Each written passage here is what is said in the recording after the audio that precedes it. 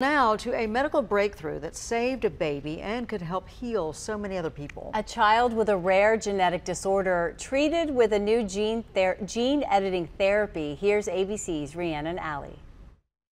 A pioneering gene editing therapy has given nine month old KJ Muldoon a new chance at life, and it could change the future of medicine. It's all been a miracle, and it's that's the only way to describe it.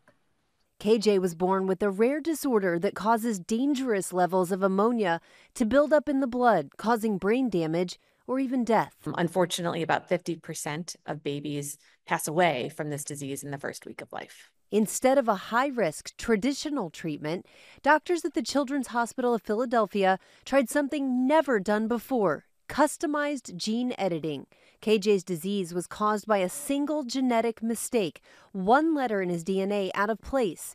Doctors had to find a way to fix that error without affecting the rest of his genome. He has one particular misspelling in one particular place, one letter that's unique to him. After six months of developing the treatment, doctors gave KJ his first infusion in February.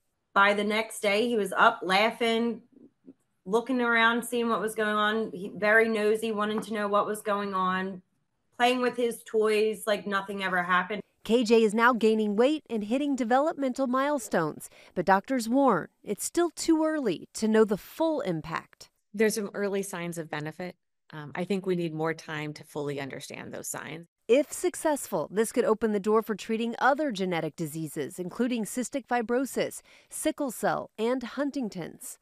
And so this is just a first step down a path that I hope will be very long and, and help many of our patients where we can really target the underlying cause of their individual diagnoses. Rhiannon Ally, ABC News, New York.